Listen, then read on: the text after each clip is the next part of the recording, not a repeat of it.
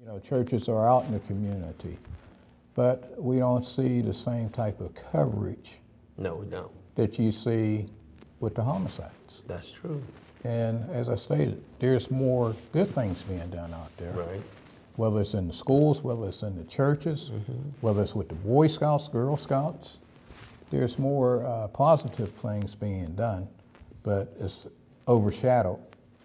by Well, let me ask homicide. you, um, the Pittsburgh Police has an organization that's done a lot of good also.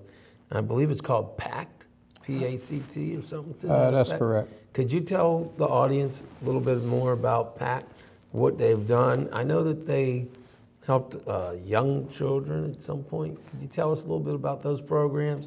And if you would happen to have a phone number where somebody might contact them? Yeah, I, I don't have that phone number. Well, that's okay. But uh, PAC actually uh, was started uh, with a handful of people. Uh, All right. The railroad police were there. Uh, our people from the support team uh, Right. were there. At that time, it was uh, FOP President Gene Grattan. Uh, he was very instrumental. Uh, Okay. Chief Cookie Coleman is now Yeah, I- chief of Wilkinsburg. I have heard of her. yeah. Uh, uh, she was very involved with it.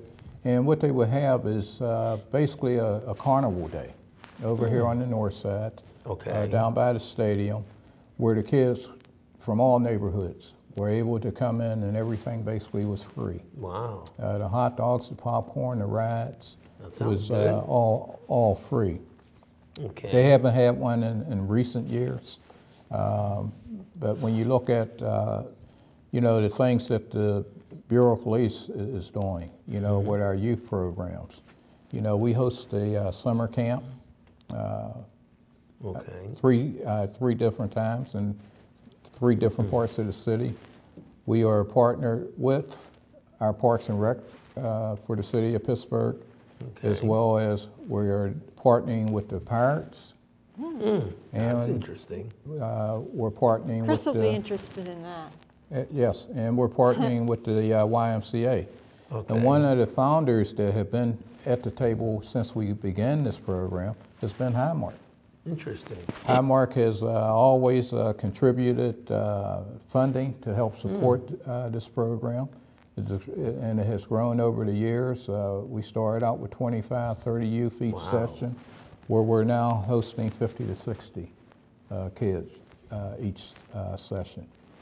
That's The something. YMCA has uh, partnered with us, as I stated, and they're willing to take approximately 30 kids from uh, the inner city and send them away for a week at Camp.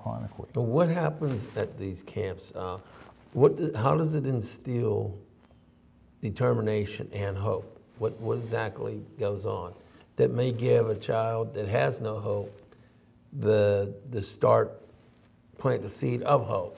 What actually goes on? We- oh, you know what? We we actually have a call, so why don't Okay. we let you finish that thought, All right, and then we'll get the next call. Okay. And then we'll get the next call. Okay. But let me hear you finish that thought about what's going on with the camps. What we do at the camps, uh, we try to show the kids uh, what law enforcement, what police work is about. And Okay. the, the kids do get interested. Uh, by the end of the week, they're very much interested. Okay. We also uh, show them team building skills. We also uh, show them leadership skills, so they aren't just followers. And at the same time, we instill in them that they can be anything that they want to be. All it takes is commitment and dedication. That there's a lot of distractions out here, and not to be distracted, to keep, to keep the focus. Well, that sounds good. Well, what, what we're going to do now is we'll have Annette get the call. Probably after your that, sister. Okay, well, mm-hmm. after that, what I want to do is I want to talk about, you had mentioned that if somebody sees a crime, they need to contact the police. I want to go back to that because what I want to ask you when we're done with the call is what is the percentage, or now you couldn't probably have a percentage, but the element of fear and how much that plays a part in people not wanting to speak to the police. And also, a lot of people just don't like the police.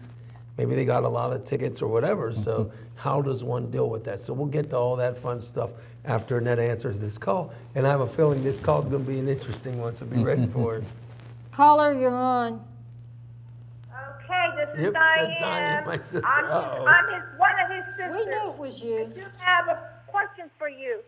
You say you've been in business for 34 years. Did you start out walking the beat like other policemen, or did you do it first?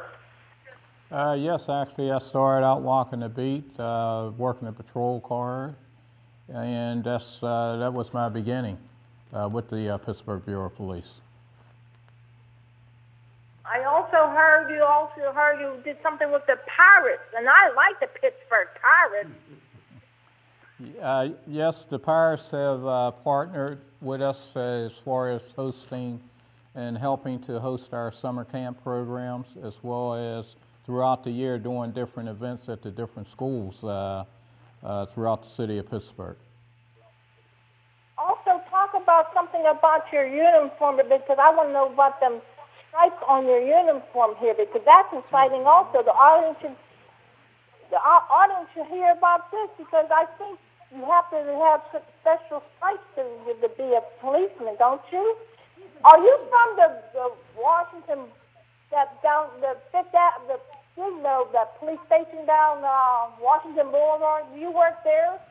No, that's actually one of our zones. That's Zone 5 uh, Police Station. I work over here on the north side of police headquarters. Uh, just to describe uh, the bands on my sleeves here, the five bands are for the chief.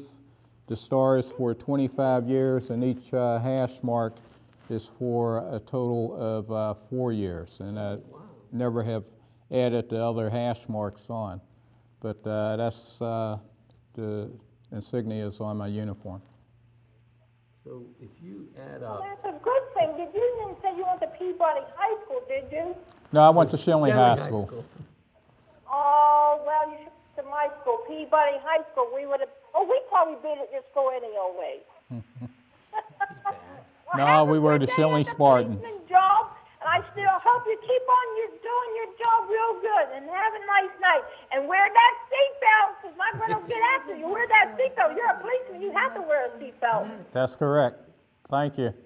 I know. Have a good night. Take care. God bless. All right, good night, Diane. Yes, she's right about the seatbelt. I have to Right. tell you a little funny si- aside here Mm-hmm. with regards to the seatbelt. I, I've been pushing wearing seatbelts since I've actually started driving about, I was about 18 when I started driving. Mm-hmm. So for 30 years, before it was cool and the in thing to do, I've been pushing the seatbelts. Mm. And uh, my sister Diane, that just was on the phone, and my sister Rose, they finally have gotten with the program with regards to seatbelts. And it's funny because for a long time, Diane was like, I don't want to wear that seatbelt. It's a pain in the, some other words we won't say, you know. And uh, unfortunately, we've been through some accidents in life. Mm-hmm. And so now she realizes how important, Important. seatbelt is. Now, that's the other thing. This is another slight aside with regards to seatbelts about out of every 10 accidents, mm-hmm. if a person doesn't wear a seatbelt, how much more likely do you see much more severe injuries and or deaths? How important, in your opinion, as a, as a citizen and a human being, and then as the chief of police, how important are seatbelts in your opinion? Seatbelts are very important. As you stated before, it became uh, state law. Yeah, Uh, that was way before that, Right, seatbelts, uh, if you look at accidents, right? nine out of 10, if the person's not wearing a seatbelt, meaning nine out of 10 Mm-hmm. of them either are critically injured or it's a fatality. Wow. When you look at the Nine out of accidents, 10. When you look at the accidents just recently in, in our area, Right, where the person was ejected from the vehicle, right. fatality. And, you know, the seatbelts do more uh, to protect you than the harm. Right. Yeah. But they can be a pain in the potatoes at times. Well, i i it's, it's just like anything. Once you get accustomed to putting it on. Right. But I mean, you know how sometimes they, some of them automatically lock up and, and you have to readjust them and stuff. But I'll tell you what, It's worth the time and trouble. it's worth the time and trouble, and I actually don't feel right without one on. That's correct. But one thing that I want to mention, and I don't know if you echo this or not, but Hmm. I've actually worn a seatbelt when I've gone from one parking lot to another parking lot, and I've actually seen serious accidents in parking lots. Have you ever had that happen? Uh, Yes, when we look at, uh, for example, uh, police officers, and we always tell them as soon as they get in the vehicle to buckle up. Okay. And there's been